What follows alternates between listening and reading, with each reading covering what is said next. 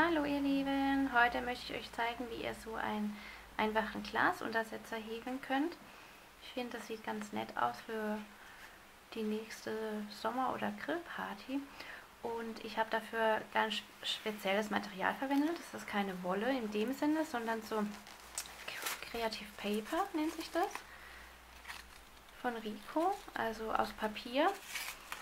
Und das Papier ist trotzdem relativ also ihr seht, ich ziehe dran und ähm, es ist sehr stabil und gibt einfach einen, einen tollen Effekt.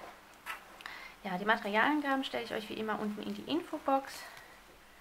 Ich verwende jetzt hier äh, eine große Häkelnadel, eine in der Größe Nummer 10. Und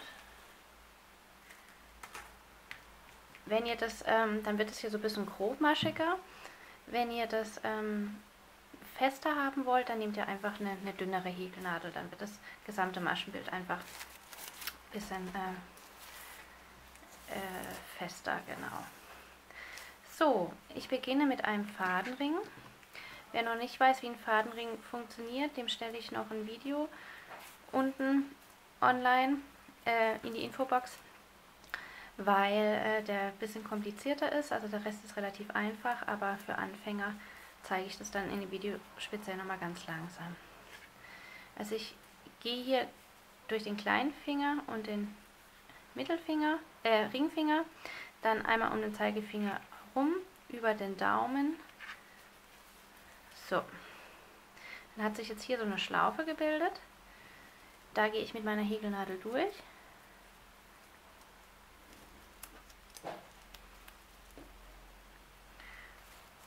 Hole mir den Faden.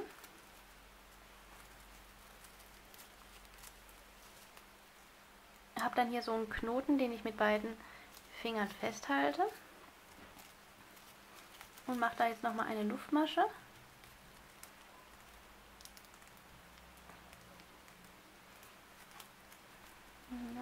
so. Und habe jetzt hier diesen magischen Ring, in den ich jetzt sechs feste Maschen häkel. Dafür gehe ich hier rein, hole mir das Arbeitsgarn und häkle eine feste Masche. Eins. Und davon insgesamt sechs Stück. Eins,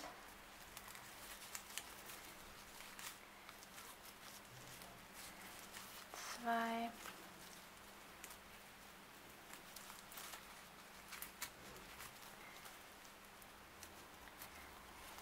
drei.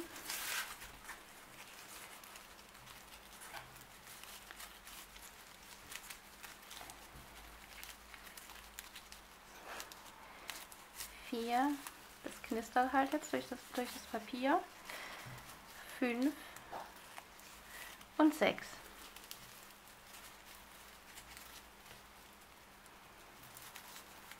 Dann zieht ihr hier hinten dem kurzen Garn, so dass sich das Ganze schließt. Ich zähle zurück. 1, 2, 3, 4, 5, 6. Das hier ist meine erste feste Masche, die ich gehäkelt habe. Hier steche ich ein und ich häkle jetzt einfach in Spiralrunden. Das heißt, hier in diese Masche häkle ich jetzt gleich zwei feste Maschen. Also ich habe ja insgesamt sechs feste Maschen gehäkelt. Ich verdoppel jetzt jede Masche, sodass ich am Ende zwölf habe. Zählt da ruhig mit. Also in jede feste Masche zwei feste Maschen. Das ist eins.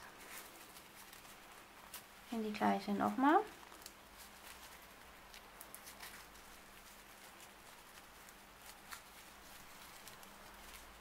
Zwei jetzt hier in die nächste, auch zwei. Nummer 3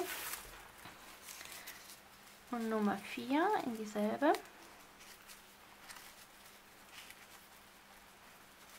Soll sich ein bisschen dran gewöhnen an das Papier. Das fließt natürlich nicht so schon leicht wie normale Wolle. So, vier feste Maschen. Jetzt hier die fünfte und die sechste. Also ich verdoppel jede Masche.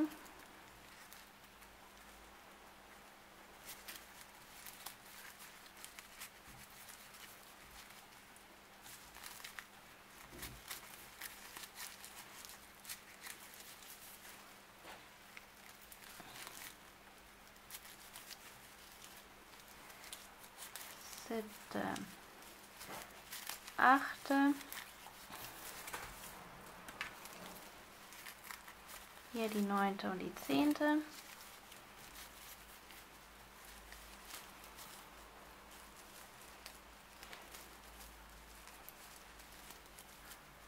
Ja.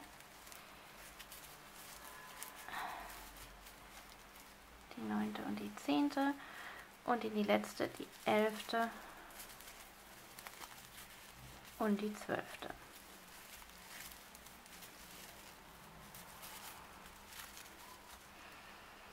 So, 1, 2, 3, 4, 5, 6, 7, 8, 9, 10, 11, 12. Gut, das passt. Jetzt hole ich mir ein andersfarbiges Garn.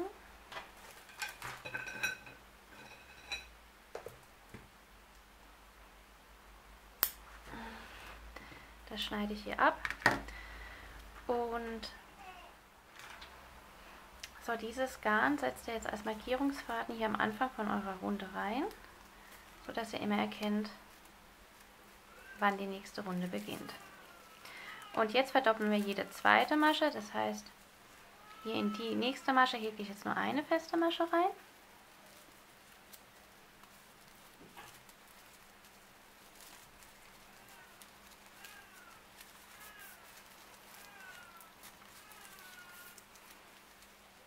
Und in die nächste, in diese hier, häkle ich zwei feste Maschen. Und so weiter bis zum runden Ende.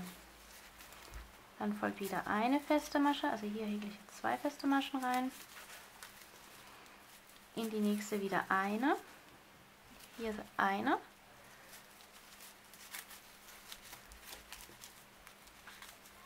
Und in die nächste wieder zwei.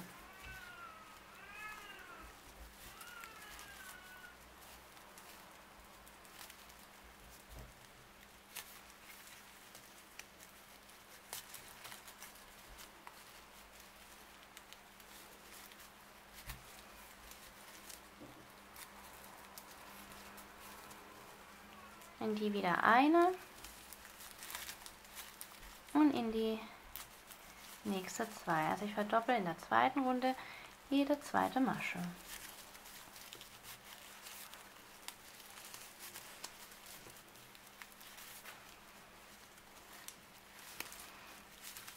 so dass wir am Ende wieder sechs mehr haben. Das heißt, am Ende der Runde haben wir dann insgesamt 18 Maschen.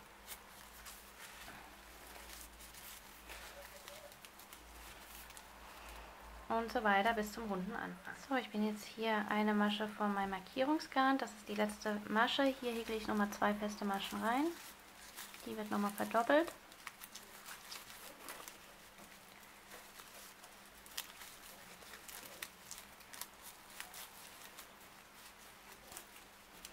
Und nun beginnt die dritte Runde. Ich nehme mein Markierungsgarn raus, mache mir den hier setze mir den vor die letzte gehäkelte Masche und verdoppel jetzt jede dritte Masche. Das heißt, in die ersten beiden steche ich ein und häkle jeweils eine feste Masche.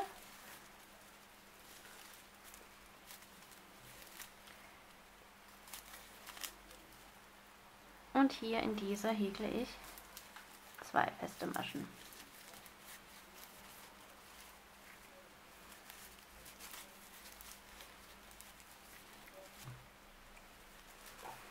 Dann in die nächsten beiden wieder jeweils eine.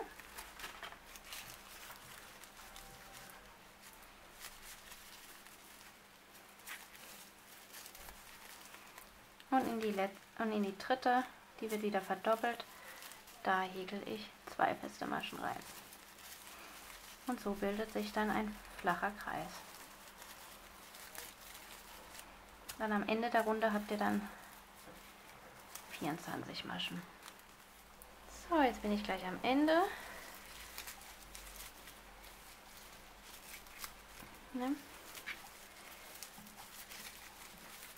Hier gehe ich nochmal eine feste Masche rein. In die nächste auch eine feste Masche. Und die letzte wird nochmal verdoppelt. Hier bin ich wieder am runden Ende. Ja.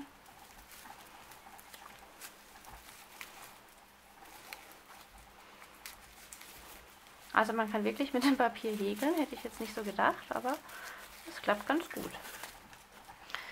So, am Ende schließe ich jetzt, schneide ich den Faden ab, oder das Papier, besser gesagt.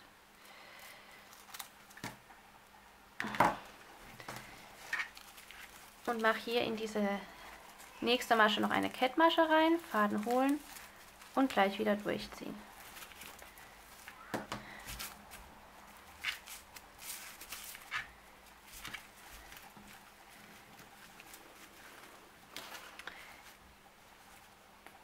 Und jetzt vernäht ihr das noch.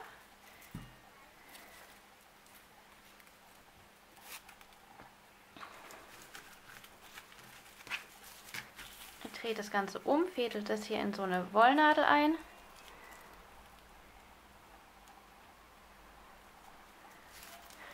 Und vernäht es hier hinten einfach, geht ihr nochmal in die nächste Masche durch. und vernäht den Faden.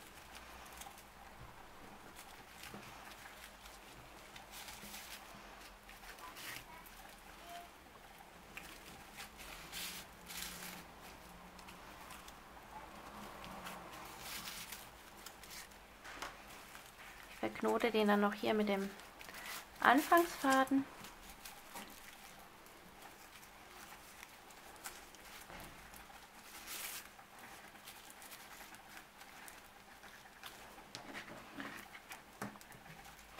Und fertig ist mein Glasuntersetzer.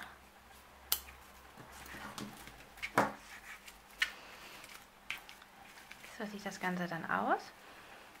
Also ich finde die wirklich sehr goldig und dann könnt ihr wie gesagt hier so euer Glas draufstellen und finde ich ein ganz schöner ähm, ganz schöner Farbverlauf und ja, wie gesagt, zu einer Grillparty oder so ähm, sieht das dann ganz nett aus als Dekoration.